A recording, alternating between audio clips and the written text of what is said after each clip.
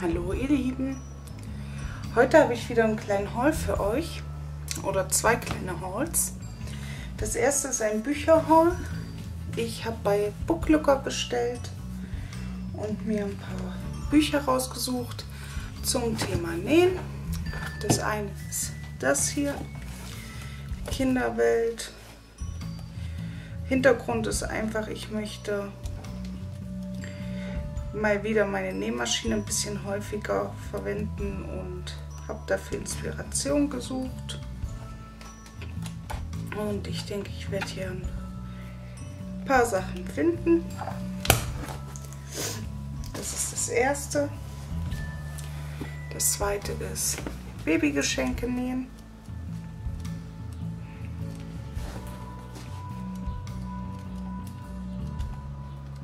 Ich blätter jetzt nur mal durch, dass ihr so ein bisschen was seht. Dann habe ich hier Patch Happy. Da hat mich vor allen Dingen die Eule angelacht. Das ist dann eher so Home-Dekor-Sachen. Huch, ich bin gar nicht richtig im Bild.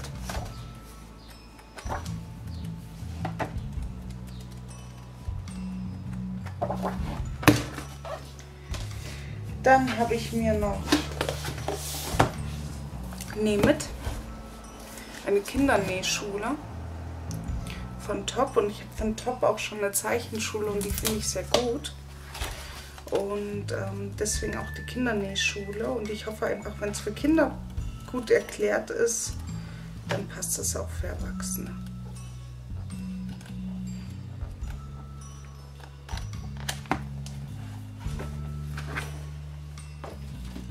Dann habe ich mir noch zwei Bücher zum Thema Zeichnen geholt. Einmal ein Handbuch zeichnen.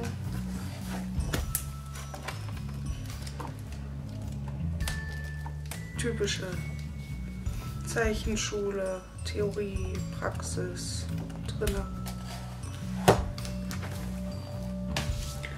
Und dann habe ich mir noch ein Buch Blumenaquarelle für Einsteiger geholt. Ich will auch in Aquarell ein bisschen mehr üben und ich denke, wenn man hier so ein paar Sachen mal Schritt für Schritt gemacht hat, dann hat man auch die Idee, wie das funktioniert und kann das dann auf andere Themen anwenden. Das war der Bücherhaul. Dann habe ich noch was eingekauft, was jetzt nicht in Richtung Basteln geht zwar ist das hier stellvertretend. Ich habe jetzt tatsächlich meine Mitgliedschaft im Fitnessstudio abgeschlossen ähm, und gehe da jetzt, sagen wir mal, drei bis viermal die Woche ist mein Ziel. Momentan schaffe ich es täglich und dann schauen wir mal, wie sich das mit der Zeit entwickelt. Und dann hab, war ich noch beim Action, weil wir waren mal wieder in Augsburg und die haben neue Paper Pads. Einmal haben sie diese A4 Paper Pads. Gibt es auch noch andere Varianten. Ich habe jetzt erstmal das Schwarz-Weiße geholt, weil buntes Papier habe ich reichlich. Neutrale Farben brauche ich immer.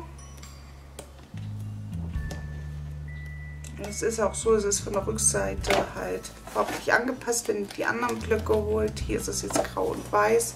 Bei den anderen ist dann wirklich eine bunte Rückseite. Dann habe ich mir geholt den hier, weil ich die Kombi von Grün und Lila sehr mag und auch die Papiere sind sehr schön. Und da hat man halt Lila, ein passendes Grün und zwischendurch immer diese Dessert-Themes.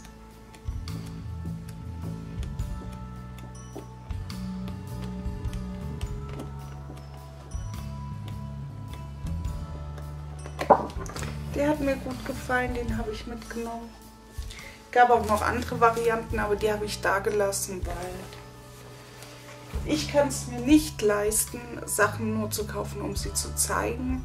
Andere YouTuber können das, aber da YouTube für mich ein Hobby ist und ich damit kein Geld verdiene, hole ich nur das, was ich wirklich auch verbasteln will. Dann habe ich mir mitgenommen Spitze. Eigentlich habe ich genug Spitze, aber das ist selbstklebende Spitze. Sprich, die ist eher fürs Karten gestalten und basteln gedacht. Ähm, und meine andere Spitze kann ich ja auch zum Nähen und zum Kartengestalten nehmen. Und deswegen durfte die mit, weil die selbstklebend ist. Sonst hätte ich sie da gelassen. Ich habe halt Farben Blau und Pink. Es gab auch da noch weitere, aber ich dachte, die Farben passen gut zu dem, was ich hier sonst so da habe. So. Dann habe ich mitgenommen, sie haben neue Perlensets in so Holzboxen. Und da habe ich mir das Lilane mitgenommen. Mir gefielen die Steine hier unten sehr gut. Die großen Perlen hätte ich jetzt nicht dringend gebraucht, aber die passen dann immer dazu. Und wäre das Gold noch Silber gewesen, wäre es mein ideales Set. Dann hätte ich auch zwei mitgenommen. So ist es erstmal bei dem einen geblieben. Dann haben sie neue Feinliner. Und eigentlich hätte ich sie nicht gebraucht. Aber ich finde das Design sehr schön. Und ich weiß jetzt nicht, was für eine Spitze sie haben. Ich habe so ein bisschen die Hoffnung, dass sie ähm, diese andere Spitze haben. Aber da gucken wir gleich mal rein. Und wenn die nicht gut schreiben sollten, dann machen sie zumindest optisch was her. Jetzt muss ich noch gucken, wie das aufgeht, ob das irgendwo geklebt ist. Das ist schon offen.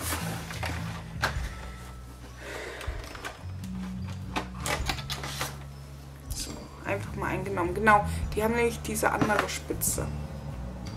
Seht ihr das? Nicht diese ganz dünne, die immer ausfranst, sondern so eine sehr harte Pinselspitze. Und mit der komme ich besser klar. Weil die ähm, gehen einfach nicht so schnell kaputt. Genau, ihr wollt mir ausprobieren, wie die schreiben. Nummer habe ich hier irgendwo noch einen Papierrest.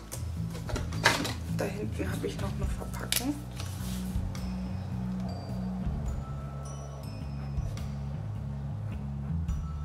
Und die schreiben wunderbar. Und durch diese Spitze kann man halt auch sehr gut variieren. Wenn ich leicht aufdrücke, kriege ich dünner. Wenn ich aufdrücke, kriege ich ein bisschen dicker. Ich halte euch noch mal ein bisschen ran.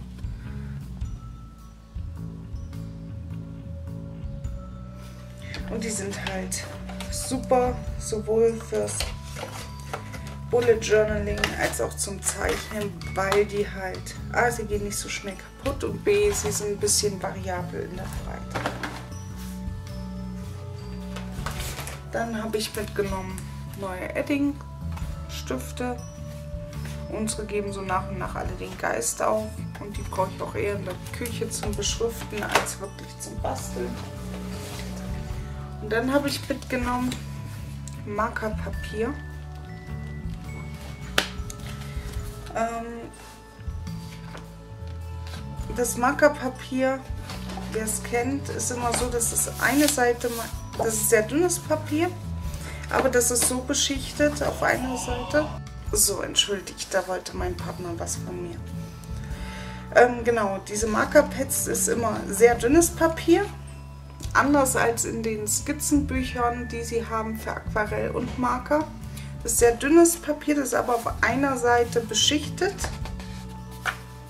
sodass ähm, es eigentlich nicht durchblutet.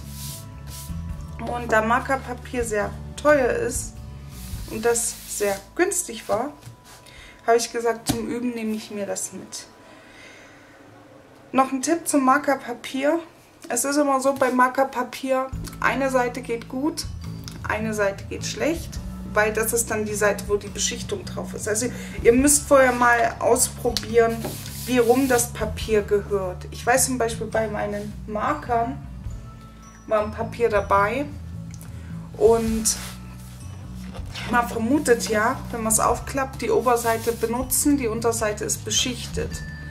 Bei dem war es aber genau andersrum. Da war die Unterseite zu benutzen und die Oberseite zu beschicht, zu, äh, war beschichtet. Und weil das viele nicht wussten, haben sie gesagt, das Mackerpapier, was dabei ist, ist absoluter Murks. Aber wenn man es umdreht, funktioniert es sehr gut.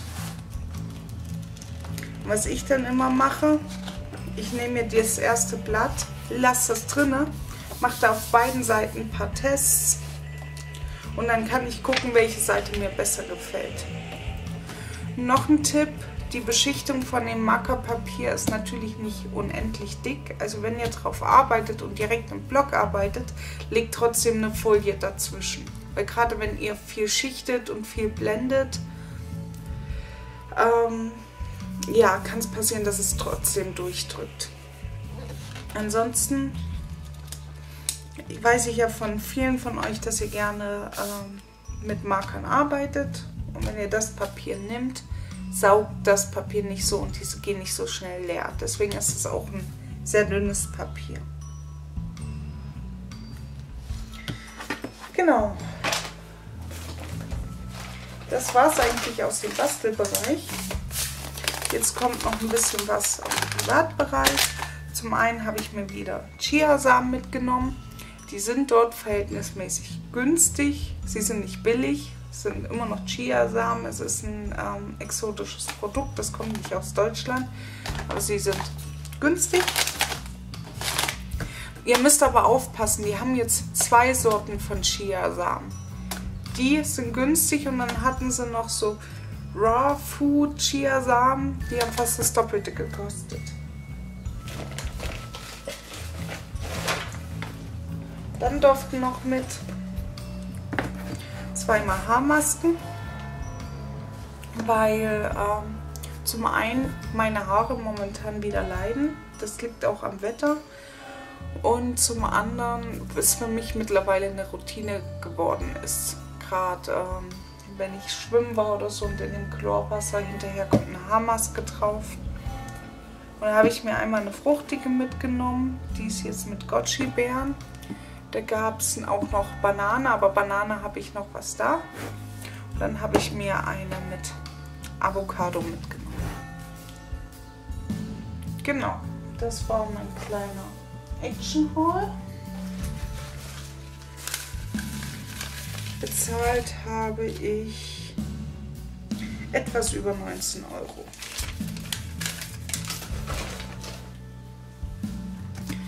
Genau, und dann wünsche ich euch allen einen schönen Tag, einen schönen Nachmittag, einen schönen Abend. Je nachdem, wann ihr das Video schaut. Und wir hören uns wieder beim nächsten Mal. Bis dann.